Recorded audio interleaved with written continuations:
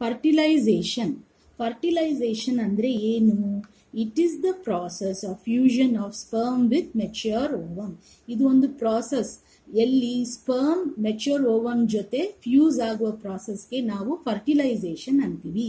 Site ಇಸ್ತಮೋ ampullary junction ಇದು ಬುಕ್ಕಲ್ಲಿ ಕೊಟ್ಟಿದ್ದ site N C R T biology twelfth standard book ಅಲ್ಲಿ ಕೊಟ್ಟಿದ್ದ site isthmo ampullary junction. Usually ಬೇರೆ ಬುಕ್ಸಲ್ಲೆಲ್ಲ ಆಂಪ್ಯುಲರಿ ರೀಜಿಯನ್ ಅನ್ನು ಕೊಟ್ಟಿದ್ದಾರೆ, ಬಟ್ ನಾವು ಈ ಬುಕ್ಗೆ ಫಾಲೋ ಮಾಡಬೇಕು. So isthmo ampullary junction. Life span of sperm ಎಷ್ಟು seventy two hours exact seventy two hours ಇರಂಗಿಲ್ಲ. ಹಾಗಾಗಿ ನಾವು ಇದು forty eight to seventy two hours ಅಂತ ತಗೊಂತೀವಿ. ಲೈಫ್ ಸ್ಪ್ಯಾನ್ ಆಫ್ ಓವಮ್ ಎಷ್ಟು twenty four hours exactly twenty four hours ಇರಂಗಿಲ್ಲ. ಹಾಗಾಗಿ twelve to twenty four hours ತಗೊಳ್ತಾ ಇದೀವಿ. ಎದಕ್ಕೆ ಇದು ಲೈಫ್ ಸ್ಪ್ಯಾನ್ ಇಂಪಾರ್ಟೆಂಟ್ ಎದಕ್ಕನ್ನ ಅವಾಗ ಓವಮ್ಮು ಮತ್ತೆ ಸ್ಪರ್ಮು ಈ ಟೈಮಲ್ಲೇ ಇಷ್ಟು ಟೈಮಲ್ಲೇ ಮೀಟ್ ಆಗಬೇಕು. ಈಗ ಓವಮ್ ಟ್ವೆಂಟಿ ಫೋರ್ ಅವರ್ಸ್ ತಕ್ಕನೇ ಇರ್ತದೆ. ಆ ನಂತರ ಸ್ಪರ್ಮ್ ಬಂದು ಮೀಟ್ ಆಗಿನಾಲು ಫರ್ಟಿಲೈಸೇಷನ್ ಆಗೋದಿಲ್ಲ. ಅದಕ್ಕನ್ನ ಮುಂಚೆ ಮೀಟ್ ಆಗಿನಾಲು ಫರ್ಟಿಲೈಸೇಷನ್ ಆಗೋದಿಲ್ಲ. ಅದಕ್ಕೆ ಈ ಟೈಮಿಂಗ್ಸ್ ಕೊಟ್ಟಿದ್ದು. ಸೊ ಈ ಫರ್ಟಿಲೈಸೇಷನ್ ಅಲ್ಲಿ ಎರಡು ಇಂಪಾರ್ಟೆಂಟ್ ರಿಯಾಕ್ಷನ್ಸ್ ಆಗ್ತಾವೆ. ಏನೇನದು? ಒಂದು ಕೆಪಾಸಿಟೇಷನ್ ನಮಗೆ ಗೊತ್ತಿರಬೇಕು, ಇನ್ನೊಂದು ಆಕ್ರೋಸೋಮಲ್ ರಿಯಾಕ್ಷನ್ ಅನ್ನೋದು ಗೊತ್ತಿರಬೇಕು. ಸೊ ಕೆಪಾಸಿಟೇಷನ್ ಅಂದ್ರೆ ಏನು? Millions of sperms are deposited in vagina after one coitus. So ಈಗ ಫಸ್ಟ್ ನಾವು ಈ ಪಾರ್ಟ್ಸ್ ನೋಡೋಣ. ಎಲ್ಲಿ ಏನಿದೆ ಅಂತ. ಈ ಸೆಂಟೆನ್ಸ್ಗೆ ಅರ್ಥ ಏನು? ತುಂಬ ಮಿಲಿಯನ್ಸ್ ಆಫ್ ಸ್ಪರ್ಮ್ಸ್ ಒಂದು ಕಾಯಿಟಸ್ ಅಂದ್ರೆ ಒಂದು ಸಂಬಂಧ ಆಗಿದ ಮೇಲೆ, ಹೆಣ್ಣು ಮತ್ತೆ ಗಂಡಿನ ಮೇಲೆ ಸಂಬಂಧ ಆಗಿದ ಮೇಲೆ ವೆಜೈನಾ ಅಲ್ಲಿ ಇವು ಮಿಲಿಯನ್ಸ್ ಆಫ್ ಸ್ಪರ್ಮ್ಸ್ ಡೆಪಾಸಿಟ್ ಆಗಿರ್ತಾವೆ. ಸೊ ಈಗ ನಾನು ನಿಮಗೆ ಇದು ಡೈಗ್ರಾಮ್ ತೋರಿಸ್ತೀನಿ. ಇದು ಯುಟರಸ್ ಈ ಈ ಭಾಗ ಸರ್ವಿಕ್ಸ್ ಈ ಭಾಗ ವೆಜೈನಾ ಇದು ಫೆಲೋಪಿಯನ್ ಟ್ಯೂಬ್ ಇದಕ್ಕೆ ನಾವು ಯುಟರೈನ್ ಟ್ಯೂಬ್ ಅನ್ನು ಹೇಳ್ತೀವಿ. ಸೊ ಈ ಫೆಲೋಪಿಯನ್ ಟ್ಯೂಬ್ ಅಲ್ಲಿ ಪಾರ್ಟ್ಸ್ನ ಇಲ್ಲಿ ಬರ್ದೀನಿ.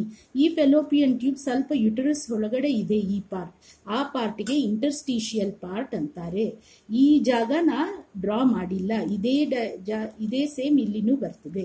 Next part of fallopian tube ಬಂದು ಇಸ್ತಮಸ್ ಇದು ಸ್ವಲ್ಪ ಸ್ಟ್ರೈಟ್ ಇರ್ತದೆ. ಇದು ತ್ರೀ ಟು ಫೋರ್ ಸೆಂಟಿಮೀಟರ್ಸ್ ಇರ್ತದೆ.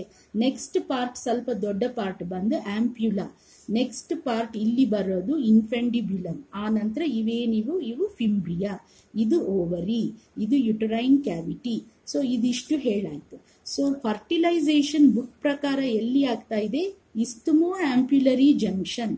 ಹಂಗಂದ್ರೆ ಇಲ್ಲೆಲ್ಲೋ ಫರ್ಟಿಲೈಸೇಷನ್ ಆಗ್ತಾ ಇದೆ. ಆ ನಂತರ ಹೀಗೇನ್ ನಾವು ಇಲ್ಲಿ ನೋಡ್ಬೋದು ನೀವು. ಇಲ್ಲಿ ಸ್ಪರ್ಮ್ಸ್ ಎಲ್ಲ ವೆಜೈನಾ ಅಲ್ಲಿ ಡೆಪಾಸಿಟ್ ಆಗಿದೆ ಕಾಯಿಟಸ್ ನಂತರ. So millions of sperms are deposited in vagina after one coitus. Only thousands of them are capacitated and enter the uterine tube. So millions sperms ಅಂತೂ ವೆಜೈನಲ್ಲಿ ಡೆಪಾಸಿಟ್ ಆಗಿದೆ ಆನ ಅದರಲ್ಲಿ ashte ಅಷ್ಟೇ ಕೆಪಾಸಿಟೇಟ್ ಆಗಿ ಯುಟರೈನ್ ಟ್ಯೂಬ್ ರೀಚ್ ಆಗ್ತಾವೆ means ಏನ್ ಅದಕ್ಕೆ ಅರ್ಥ ಇಲ್ಲಿ ಮಿಲಿಯನ್ಸ್ ಡೆಪಾಸಿಟ್ ಆಗ್ತಾವ ಆನ ಇಲ್ಲಿ ರೀಚ್ ಆಗೋದೇನೋ ಥೌಸಂಡ್ಸ್ ಅಷ್ಟೇ ಯುಟರೈನ್ ಟ್ಯೂಬ್ andre ಫೆಲೋಪಿಯನ್ ಟ್ಯೂಬೇ ಸೊ ಹೀಗೆ ನಾವು ಕೆಪಾಸಿಟೇಷನ್ ಆಗ್ತದೆ. ಆ ಸಲುವಾಗಿ ಇದು ಹೀಗೆ ಆಗ್ತದೆ. So capacitation means a physiochemical change in the sperm that makes it hyper motile so it can fuse with the secondary oocyte so capacitation ಅಂದರೆ ಏನು? ಅದು ಒಂದು ಕೆಮಿಕಲ್ ರಿಯಾಕ್ಷನ್ ಎಲ್ಲಿ ಆಗ್ತಾ ಇದೆ? ಸ್ಪರ್ಮಲ್ಲಿ ಆಗ್ತಾ ಇದೆ.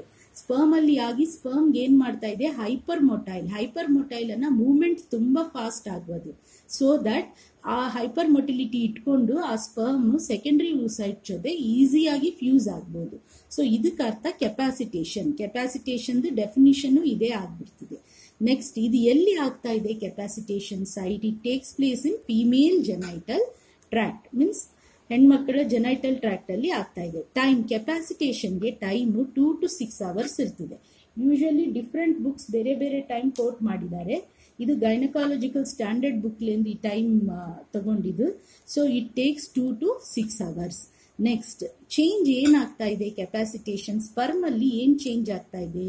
There is increase in intracellular P H because of influx of calcium ions and efflux of hydrogen ions means intracellular P H sperm ಅಲ್ಲಿ ಇನ್ಕ್ರೀಸ್ ಆಗ್ತಾ ಇದೆ. ಎಂತಕ್ ಹಂಗೆ ಇನ್ಕ್ರೀಸ್ ಆಗ್ತಾ ಇದೆ? ಎಂತಕನ್ನ ಕ್ಯಾಲ್ಸಿಯಂ ಅಯಾನ್ಸ್ ಸೆಲ್ ಒಳಗಡೆ ಹೋಗ್ತಾ ಇದ್ದಾವೆ ಹೈಡ್ರೋಜನ್ ಅಯಾನ್ ಸೆಲ್ ಹೊರಗಡೆ ಬಂದು ಬಿಡ್ತಾ ಇದ್ದಾವೆ ಪಿ ಹೆಚ್ ನೀವು ಕೆಮಿಸ್ಟ್ರಿಯಲ್ಲಿ ಓದಿರ್ತೀರಿ. ಸೊ ಹೈಡ್ರೋಜನ್ ಅಯಾನ್ಸ್ ಕಮ್ಮಿ ಆಗ್ಬಿಟ್ಟವನ್ನ ಏನಾಗ್ಬಿಡ್ತದೆ? ಆ ಜಾಗ ಆಲ್ಕಲೈನಿಟಿ ಜಾಸ್ತಿ ಆಗ್ಬಿಡ್ತದೆ. ಸೊ ಪಿ ಹೆಚ್ ಜಾಸ್ತಿ ಆಗ್ಬಿಡ್ತದೆ. ಸೊ ಈ ಕಾರಣಕ್ಕೆ ಸ್ಪರ್ಮ್ ಹೈಪರ್ ಮೊಟೈಲ್ ಆಗ್ಬಿಡ್ತಿದೆ. ಸೊ ಈ ಚೇಂಜಸ್ ಯಾರು ತಗೊಂಡ್ ಬರ್ತಾ ಇದ್ದಾರೆ? This is brought about by the secretions of the uterus sperm ಅಲ್ಲಿ ಈ ಚೇಂಜಸ್ ಆಗುವುದಕ್ಕೆ ಕಾರಣ ಯಾರು? Secretions of the uterus so ನಾವು ನೆಕ್ಸ್ಟ್ ಇನ್ನೊಂದು ರಿಯಾಕ್ಷನ್ ನೋಡುವ. ಆಕ್ರೋಸೋಮಲ್ ರಿಯಾಕ್ಷನ್ ಅಂದ್ರೆ ಏನು? It is a process where the acrosome releases enzymes like hyaluronidase, hydrolytic enzymes, proacrosine, acrosine, and digests zona pellucida to enter the oocyte. So, ನಿಮಗೆ sperm structure. ಗೊತ್ತಿರಬಹುದು ಇದು head ಇರ್ತದೆ neck ಇರ್ತದೆ tail ಇರ್ತದೆ ಇಲ್ಲಿ acrosome ಇರ್ತದೆ ಸೊ ಈ process ಅಲ್ಲಿ ಮಾಡ್ತಿದೆ? ಈ ಆಕ್ರೋಸೋಮ್ ಎನ್ಸೈಮ್ಸ್ ರಿಲೀಸ್ ಮಾಡ್ತಿದೆ. ಎನ್ಸೈಮ್ಸ್ ರಿಲೀಸ್ ಮಾಡಿದ ಮೇಲೆ ಅದು ಆ ಎನ್ಸೈಮ್ಸ್ ಹೋಗಿ ಝೋನಾ ಪೆಲ್ಯೂಸಿಡಾಗೆ ಡೈಜೆಸ್ಟ್ ಮಾಡ್ತಾವೆ. ಆ ನಂತರ ಅವಾಗ ಆ ಸ್ಪರ್ಮ್ ಸೈಟ್ ಅಲ್ಲಿ ಎಂಟರ್ ಆಗ್ತದೆ. ಸೊ ಈ ಡಯಾಗ್ರಾಮ್ ಅಲ್ಲಿ ನಿಮ್ಗೆ ಈಸಿಯಾಗಿ ಅರ್ಥ ಆಗ್ಬಿಡ್ತದೆ. ಇದು ಓವಮ್. ಈ ಪಿಂಕ್ ಕಲರ್ ಏನು ಏನ್ ಹಾಕಿನಿ? ಪೆರಿವಿಟಲೈನ್ ಸ್ಪೇಸ್ ಈ ಡಾರ್ಕ್ ಗ್ರೀನ್ ಕಲರ್ ಕವರಿಂಗ್ ಏನ್ ಹಾಕಿನಿ? ಅದು ಝೋನಾ ಪೆಲ್ಯೂಸಿಡಾ ಈ light green cells corona radiata so ಒಂದು ಸ್ಪರ್ಮ್ ಕೊರೋನಾ ರೇಡಿಯೇಟಾಕಿ ದಾಟಿ ಬಂದು ಝೋನಾ ಪೆಲ್ಯೂಸಿಡಾ ತಕ ಬರ್ತಾ ಇದೆ. ಆ ನಂತರ ಈ ಆಕ್ರೋಸೋಮ್ ಏನ್ ಮಾಡ್ತಾ ಇದೆ? ಎನ್ಸೈಮ್ಸ್ ರಿಲೀಸ್ ಮಾಡ್ತಾ ಇದೆ. ಅವಾಗ ಈ ಝೋನಾ ಪೆಲ್ಯೂಸಿಡಾ ಏನಾಗ್ತಾ ಇದೆ? ಡೈಜೆಸ್ಟ್ ಆಗ್ತಾ ಇದೆ. ಆ ನಂತರ ಈ ಆಕ್ರೋಸೋಮ್ ಹಿಂಗೆ ಮಾಡಿ ಎಂಟರ್ ಆಗ್ಬಿಡ್ತಿದೆ. ಅದಕ್ಕೆ ನಾವೇನಂತೀವಿ? ಆಕ್ರೋಸೋಮಲ್ ರಿಯಾಕ್ಷನ್ ಅಂತೀವಿ.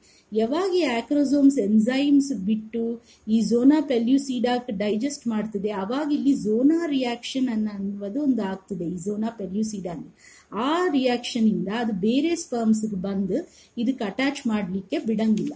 ಸೊ ಅದು ನೆಕ್ಸ್ಟ್ ಪಾಯಿಂಟ್ ಅಲ್ಲಿ ನೋಡುವ.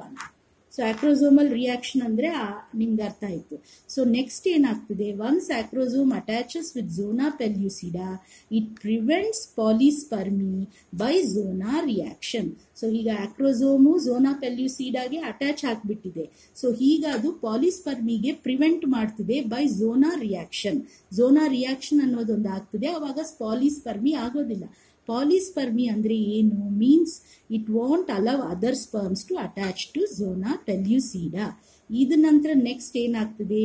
ನಾವು the whole of the sperm head neck and tail enter the site so ಪೂರ sperm the head neck tail ಪೂರ ಊಸೈಟ್ ಅಲ್ಲಿ enter ಆಗ್ಬಿಡ್ತಾವ್ at this oocyte completes its meiosis two ಇದು ನಾವು ಊಜೆನಸಿಸ್ ಅಲ್ಲಿ ಓದಿದೀವಿ. At this stage, oocyte will complete its meiosis to giving second polar body and ooted. ಈಗ ಅದು second polar body ಮತ್ತೆ ootid ಕೊಡ್ತದೆ ತನ್ನ ಮಿಯಾಸಿಸ್ ಟು ಅದು ಕಂಪ್ಲೀಟ್ ಮಾಡ್ಕೊಳ್ತದೆ ಸೆಕೆಂಡ್ರಿ ಊಸೈಟ್ ಫರ್ಟಿಲೈಸೇಷನ್ ಅಲ್ಲಿ ಆ ootid will mature to haploid ovum and then that will fuse with sperm and leads to fertilization so ಸ್ವಲ್ಪ ಇಂಪಾರ್ಟೆಂಟ್ ಪಾಯಿಂಟ್ಸ್ ನಾವು ಇದರಲ್ಲಿ ನೋಡ್ಕೋಬೇಕು ಸೊ ಈ ಡಯಾಗ್ರಾಮ್ ಕೂಡ ನಿಮಗೆ ಅರ್ಥ ಆಗಿದೆ ಸೊ ಸ್ಪರ್ಮ್ ಫರ್ಟಿಲೈಸೇಷನ್ ಅಲ್ಲಿ ಏನ್ ಟು ರಿಯಾಕ್ಷನ್ಸ್ ನೆನ್ಪಿಟ್ಕೋಬೇಕು? ಒಂದು ಕೆಪಾಸಿಟೇಷನ್ ಆಫ್ ದ ಸ್ಪರ್ಮ್ ಒಂದು ಆಕ್ರೋಸೋಮಲ್ ರಿಯಾಕ್ಷನ್ ಈಗಿಲ್ಲಿ ನೋಡುವ. Fertilisation occurs if both ovum sperm are transported simultaneously means ಎರಡು ಟ್ರಾನ್ಸ್ಪೋರ್ಟ್ ಸೈಮಲ್ಟೇನಿಯಸ್ ಆಗ್ಬೇಕು. ಅವಾಗಷ್ಟೇ ಫರ್ಟಿಲೈಸೇಷನ್ ಆಗ್ತಿದೆ ಅಂತ ಹೇಳ್ತಾ ಇದ್ದಾರೆ. ನಮಗಿದು ಗೊತ್ತಿದೆ ಬಿಕಾಸ್ ಓವಮ್ ಇರೋದು life span twenty four hours ತಕ. ಆ ಟ್ವೆಂಟಿ ಫೋರ್ ಅವರ್ಸ್ ಅಲ್ಲೇ ಈ ಸ್ಪರ್ಮು ಟ್ರಾವೆಲ್ ಆಗಬೇಕು ಓವಮು ಟ್ರಾವೆಲ್ ಆಗಬೇಕು ಫರ್ಟಿಲೈಸೇಷನ್ ಆಗಬೇಕು. Next sperm attaches to zona pellucida and brings changes in membrane that does not allow other sperms to attach. ನಾವು ಈ sperm ಬಂದು ಇಲ್ಲಿ ಅಟ್ಯಾಚ್ ಆಗ್ತಿದೆ. ಅವಾಗ ಆಕ್ರೋಸೋಮ್ ಎನ್ಸೈಮ್ಸ್ ಬಿಡ್ತಿದೆ. ಅವಾಗ ಝೋನಾ ಡೈಜೆಸ್ಟ್ ಆಗ್ತಿದೆ. ಆಮೇಲೆ ಝೋನಾ ಅಲ್ಲಿ ರಿಯಾಕ್ಷನ್ ಆಗ್ಬಿಡ್ತಿದೆ. ಝೋನಾ ಪೆಲ್ಯೂಸಿಡಮ್ ಇದು ಸಲುವಾಗಿ ಬೇರೆ ಸ್ಪರ್ಮ್ಸ್ ಬಂದು ಇಲ್ಲಿ ಅಟ್ಯಾಚ್ ಆಗೋದಿಲ್ಲ. Next, the acrosome secretions help sperms to enter the cytoplasm of the ovum after passing through zona pellucida and plasma membrane of the oocyte. So ಹೀಗೆ ಈ ಆಕ್ರೋಸೋಮ್ ಏನ್ ಎನ್ಸೈಮ್ಸ್ ಬಿಟ್ಟಿರ್ತದಲ್ಲ ಸೊ ಝೋನಾ ಅಂತೂ digest ಆಗಿಬಿಡ್ತದ. ಆ ನಂತರ ಈ sperm first perivitelline space enter ಆಗ್ತದ.